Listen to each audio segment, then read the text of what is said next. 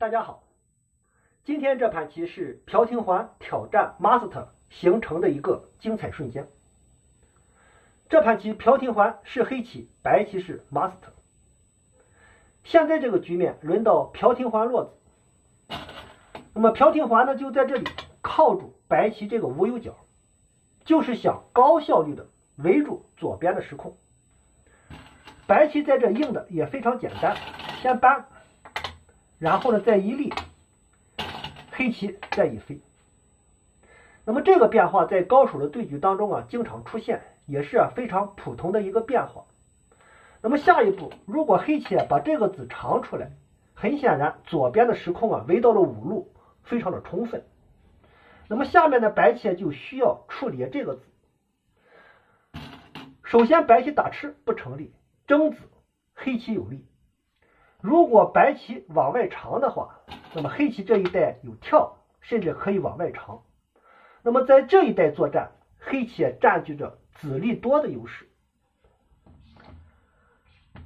那么下面我们就看一看啊，Master 在这一带精彩的表演。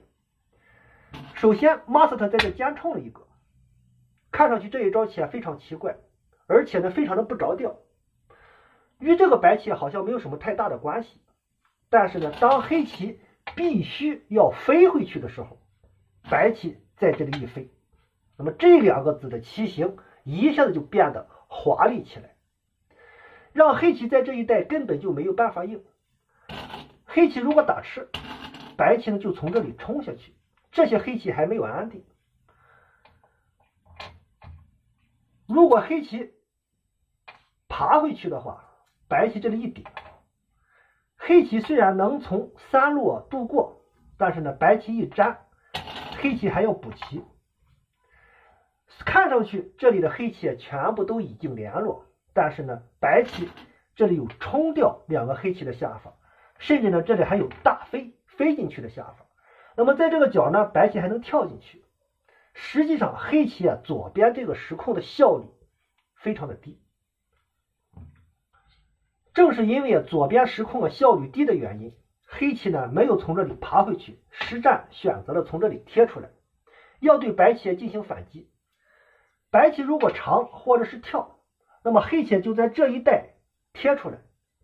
当黑棋从这里贴出来以后，这里很显然就给白棋留下一个打入点。那么这个打入点对白棋来讲啊，非常的严厉。那么马斯特在这里呢下的非常的灵活。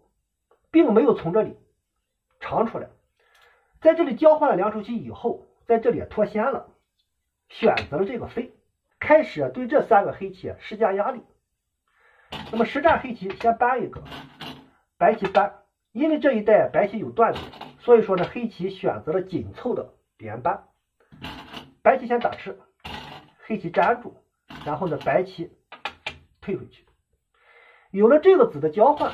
黑棋居然没有办法呀争吃这个白棋，那么黑棋呢只有从这里先冲，白棋往上一长，黑棋往上贴，白棋再长，黑棋先手交换，把自己这一带走的强一点，然后呢不得已还要从这里爬回去，不然的话被白棋这样一挡，这些黑棋还没有安定，黑棋这个往回爬实际上是非常痛苦的。白棋顶住，黑棋搬过。这个时候，这一带白棋已经走后，白棋呢还要先冲一步，黑棋挡住，白棋呢再连接，黑棋不得已还要补断，然后呢白棋获得先手，抢占大场。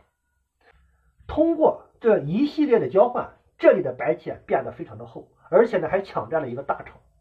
那么，Master 就通过这一系列漂亮的手段，取得了续盘的优势。好，这个精彩的瞬间，我们就欣赏到这里。谢谢大家的收看。